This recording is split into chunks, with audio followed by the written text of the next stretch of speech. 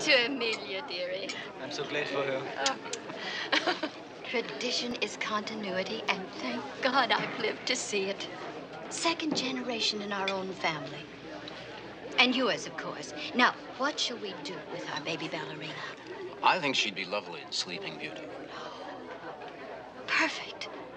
We'll warm her up this season, and then she'll warm up the box office the next season. do you want to tell her? No.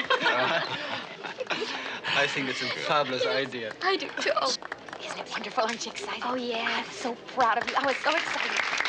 I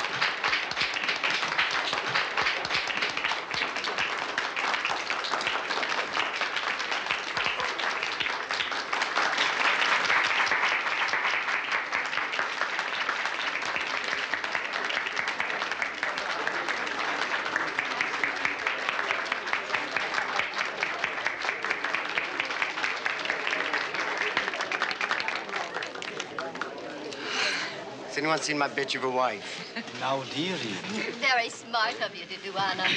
Next time you're gonna have to lift me, Emma. My back is ready for traction. Oh, poor Fred. It's worth it. Do you know what we'd like you to do for us, Emma? A new ballet.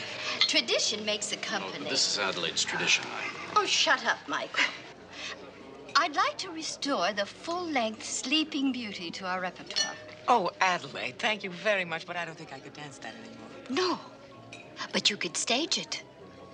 Oh, you know it inside out. It'd be fun, a new challenge. She'd do it beautifully, don't you think so, Michael? I think your timing's lousy, Adelaide. Excuse me. I really must do something to my face.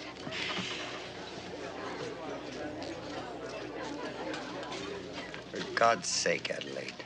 Dearie, even Emma has to move on. Like all the rest of us.